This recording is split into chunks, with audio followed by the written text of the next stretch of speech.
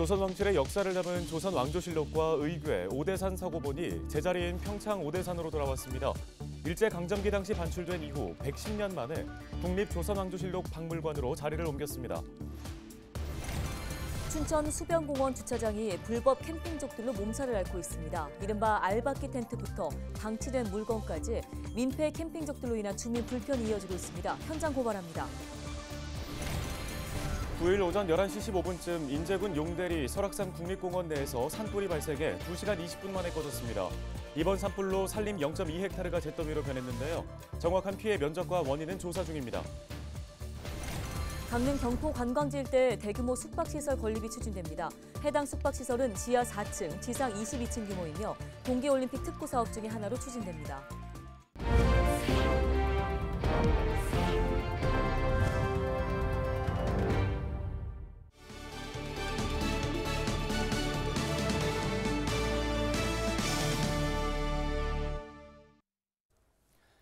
시청자 여러분 안녕하십니까? 헬로티비 뉴스입니다.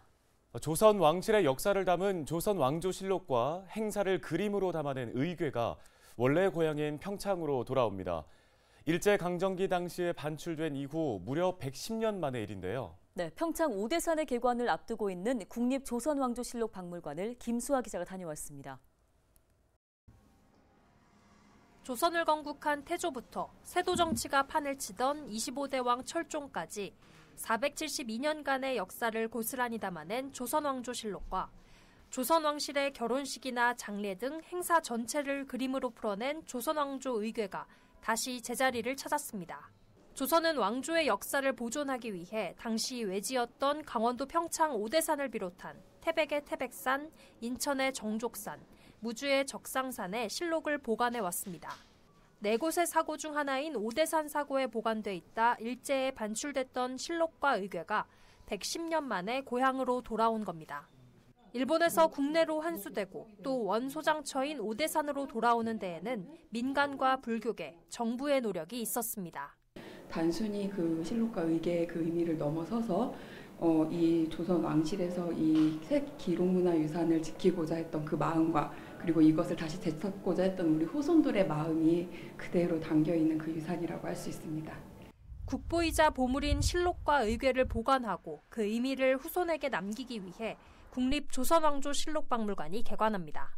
그전에는 왕조 실록 의궤 박물관이었는데 문화재청은 실록과 의궤 원본을 본래 있던 자리로 옮기면서 국립조선왕조 실록 박물관으로 이름을 붙였습니다. 박물관은 기록유산의 편찬 과정부터 문화재 반출 이후 환수 과정들을 자세히 소개해 시민들의 이해를 도울 예정입니다. 국내로 환수된 오대산 사고본 실록은 75책, 의궤는 82책에 달합니다. 현재 박물관으로 돌아온 실록은 9책, 의궤는 26책으로 순차적으로 이관되면서 전시될 실록과 의궤는 더욱 많아질 예정입니다. 상설 전시를 통해서 많은 실록과 의계를 어, 전시를 통해서 공개를 할 예정입니다. 어, 어느 박물관보다도 상설 전시실에서 우리 박물관만큼 많은 실록과 의계를 보시기는 힘들 것입니다. 문화재청은 이번 실록과 의궤의 환수를 계기로 조선왕실 유산의 가치를 널리 알릴 예정입니다. 옛 조선왕조의 역사를 볼 수 있는 국립조선왕조실록박물관은 오는 12일 일반인을 대상으로 정식 개관합니다. 헬로티비 뉴스 김수아입니다. 다음 소식입니다. 춘천 수변공원 주차장이 불법 캠핑장으로 변했습니다. 주차장에서 캠핑을 즐기고 가는 건데요. 네, 민폐 캠핑족들이 모여들어 이른바 알박기한 텐트 그리고 방치된 물건 때문에 수변공원이 몸살을 앓고 있습니다. 전소연 기자가 현장에 다녀왔습니다. 춘천 수변공원 일대 20대가 넘는 캠핑카가 줄지어 주차되어 있습니다. 주말에 캠핑을 즐기고 평일엔 텐트를 두고 가는 이른바 알박기를 해둔 텐트도 곳곳에 보입니다. 레고랜드 입장객용 임시 주차장으로 사용되다가 폐쇄된 곳인데 최근 주차장 옆 공사로 인해 입구가 개방되자 캠핑족들이 몰려들기 시작했습니다. 공유재산 무단 점유에 해당하는데 단속이 약하다 보니 신경 쓰는 사람이 없습니다.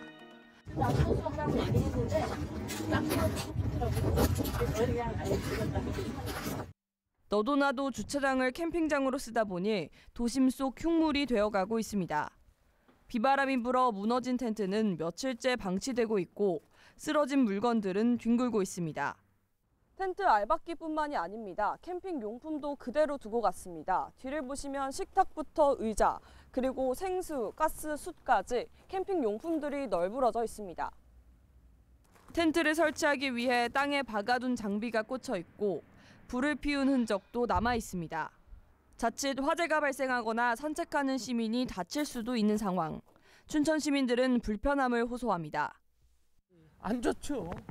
캠핑장이 아닌데 그렇잖아요. 캠핑장이 아닌데 이렇게 갖다 놓은 걸 보기가 안 좋지. 또 우리가 좀 보기가 안 좋죠. 민원이 잇따르자 강원자치도는 단속에 나설 계획입니다.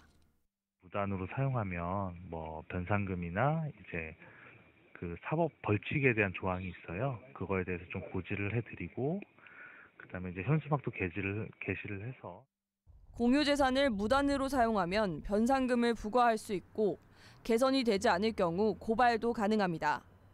아름다운 자연환경을 자랑하는 춘천 수변공원. 일부 민폐 캠핑족으로 인해 몸살을 앓고 있습니다. 헬로티비 뉴스 전소연입니다. 9일 오전 11시 15분쯤 인제군 북면 용대리 설악산 국립공원 일원에서 발생한 산불이 2시간 20여 분 만에 꺼졌습니다. 산림당국은 진화헬기 6대와 장비 31대, 인력 101명을 투입해 큰 불을 잡았다고 밝혔습니다. 인명피해는 발생하지 않았지만 산림 약 0.2헥타르가 불에 탔는데요. 산림당국은 정확한 피해 면적과 산불 발생 원인 등을 조사하고 있습니다. 강릉 경포관광지 일대에 대규모 숙박시설이 건립됩니다. 강릉시는 안현동 옛 경포산장 콘도 일대 6만 9천 제곱미터 부지에 약 580실 규모의 콘도미니엄 건설 사업이 진행되고 있다고 밝혔습니다. 해당 숙박시설은 지하 4층, 지상 22층 규모이며 동계 올림픽 특구 사업 중 하나로 추진됩니다. 사업 시행자는 부지 매입을 90% 이상 완료하고 현재 강원도의 실시 계획 승인 절차를 밟고 있습니다.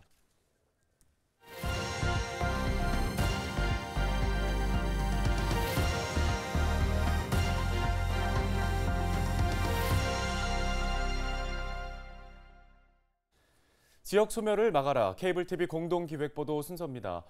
지방자치 30년이 넘도록 지방은 중앙 정부에 의존하는 발전을 거듭해오고 있습니다. 네, 수도권과 지역 격차는 더 벌어지고 불균형 발전과 인구 소멸 위기는 더 이상 방치할 수가 없는 상황입니다. 지방 분권형 개헌 요구가 끊이지 않는 이유인데요. 이관성 기자가 전해드립니다. 우리나라의 국가 사무와 지방 사무 비율은 약 7대 3. 국가 사무가 지방 사무의 배를 넘습니다. 조세 수입은 국가와 지방이 약 8대 2 비율인데 재정 지출은 국가와 지방이 약 4대 6 비율을 보입니다. 지방 정부는 조세 수입보다 재정 지출이 많다 보니 중앙 정부에 의존하는 일이 많고 중앙 정부는 지방 정부에 위임하는 사무가 많습니다. 지방 정부는 중앙 정부가 획일적으로 만든 정책을 대행하는 과정에서 지역 상황에 맞지 않는 시행착오를 경험합니다. 그런 정책들은 해당 지역 주민들의 피부에 와닿지 않아 비효율적인 정책이 되고 맙니다. 중앙 관료가 아무리 우수하다고 하더라도 지역의 문제를 속속들이 알 수가 없는 거죠. 지방 정부는 지역에서 가장 가까운 주민으로부터 가장 가까운 자치단체고 정부이기 때문에 지역 문제를 고민하기에는 중앙 정부보다 더 적합하다라는 게 지방 정부는 자치 입법과 조직 운영에도 한계를 안고 있습니다. 지역 실정에 맞는 조례를 만들려고 해도 상위 법령 안에서만 제정할 수 있고 행정기구 설치와 지방 공무원 정원도 대통령령에 따라야 하기 때문입니다. 상황이 이렇다 보니 지방은 지방자치 30년이 넘도록 중앙정부에 의존하는 발전에 머물고 있습니다. 수도권과 지역 격차는 더 벌어지고 불균형 발전과 인구 소멸 위기는 더 이상 방치할 수 없는 상황입니다. 균형 발전도 그렇고 지방 분권도 그렇고 강력한 입법적인 뒷받침이 돼야 됩니다.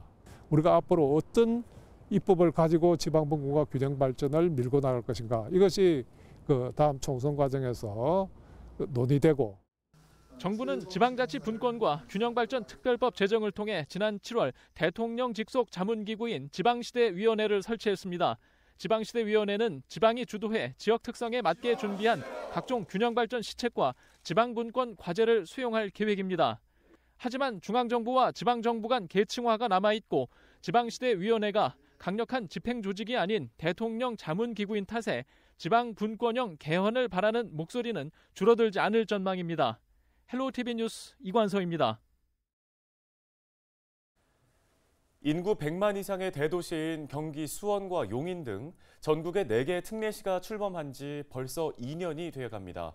특례시 승격으로 일부 광역자치단체의 권한이 넘어왔지만 이양된 권한은 10% 정도에 불과합니다. 네, 지방 분권의 대표 모델로 떠들썩하게 등장했지만 반쪽 특례시의 오명을 벗으려면 아직도 갈 길은 멀어 보입니다. SK 브로드밴드 박희봉 기자입니다. 경기 용인과 수원 고양 그리고 경남 창원시 지난해 1월 출범한 4개 특례시입니다.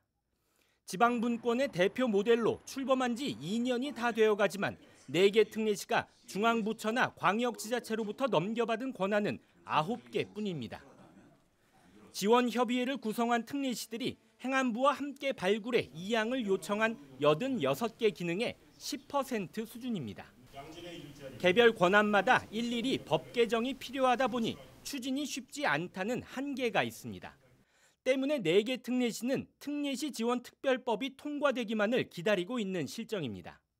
특례시에 걸맞는 행정과 일을 할 수 있는 충분한 권한은 부여되지 않았습니다. 시장이 힘을 모으고 4개 특례시의 국회의원들과 시도의원들께서 힘을 보태주신다면 특별법 제정이 이루어지리라고 생각을 합니다. 특별법은 행정 재정적 지원과 국가균형발전 특별회계 별도 개정 설치, 국무총리 소속 특례시 지원위원회 설치 등의 내용을 담고 있습니다. 올해 초에는 국회 정책 토론회까지 열렸지만 특례시 기능의 핵심인 재정 권한 확보는 여전히 답보 상태입니다. 특례시라는 명칭만 주어졌을 뿐 권한에서는 기초지자체와 차이가 없다 보니 반쪽짜리 특례시 5명도 벗지 못하고 있습니다. 분과위원회 구성해서 효율적인 특례 사무와 그 특례에 대한 논의들이 있어야 될 것이라고 저는 생각을 하고 있습니다. 이런 가운데 인구 100만 명을 목전에 두고 있는 화성시는 오는 2025년 전국에서 다섯 번째 특례시 지정을 전망하고 있습니다. 30년 넘게 이어져 온 지방분권의 성공을 가늠하는 척도로 기대 속에 출범한 특례시. 결국 행정 서비스 개선을 위한 조치였기 때문에 속도감 있는 권한 이양이 이루어지지 않으면 내년에도 반쪽짜리 특례시라는 오명은 벗기 어려울 것이란 우려의 목소리가 커지고 있습니다. BTV 뉴스 박희붕입니다.